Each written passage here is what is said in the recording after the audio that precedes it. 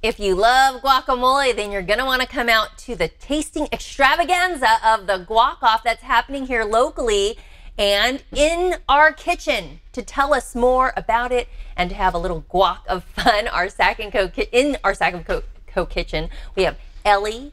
Emily and Laura, welcome to the show. Thanks for being here. We're going to start with you. Um, tell us, Ellie, a little bit about the guac off. Sure. So the Guac Off is a super fun fundraiser that we do every year. We pick a new charity to donate to, and this year we're donating 100% of our proceeds to the Sacramento Children's Home. That's great. And what makes guac so great for the summer?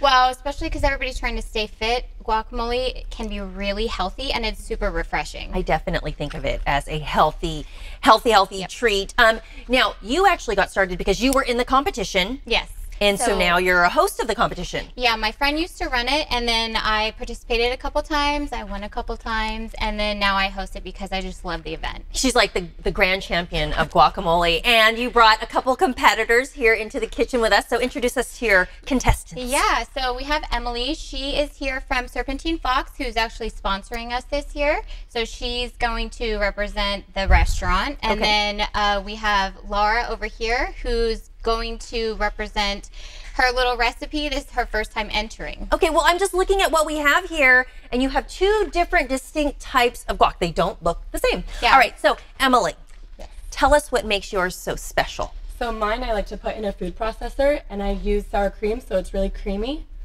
and spices. You think you're going to win? Um, I think so, yeah.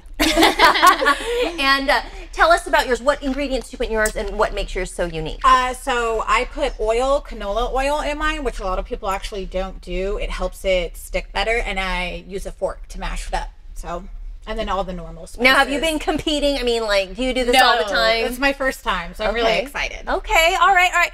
So, um, I mean, how do we, how do you pick? Like, how do you know what's a good guac? Sure. So, well, at the guac off, we're going to have about 20 different guacamoles, and then everybody will get to taste test them. Um, and it's really your own preference. Some people like cilantro, some people hate cilantro, some people really like the limey taste that can go in guacamole. I prefer a very uh, tart guac, so Tart. with lots of lime and lots of cilantro. And and how important is it to have the right chip for tasting? Chips are super important because if you get a salty chip, it can affect the taste of your guac. So at our competition, we try to get a all natural corn chip that has very little sodium.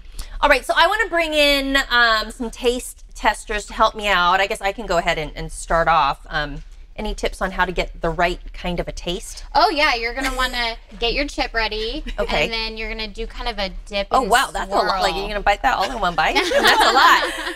I might have to Ellie? break this one in half a little bit. I'm bit. gonna have like guac face. oh, that's really good. All right. Okay, so you're saying I should I should go in and, and You should uh, go in. Okay. All right. I'm just gonna get a little chip. I'm not gonna overdo it here. I've never had uh, guac of this. More. I usually have gr- more green guac. So anyway. Super Mm, creamy. pretty good.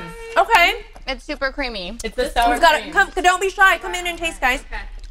Okay. I'll try this one first. And and keep your keep your uh, thoughts until we're ready to announce the winner.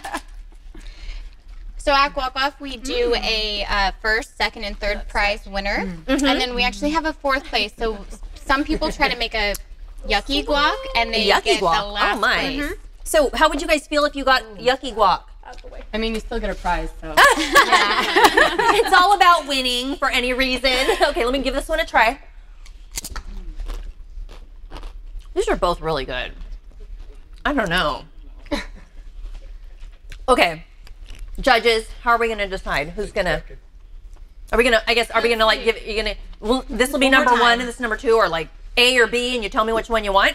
Creamy, chunky. Creamy, chunky. There we go. So um, we'll start with you. Okay. Here are in studio taste testers.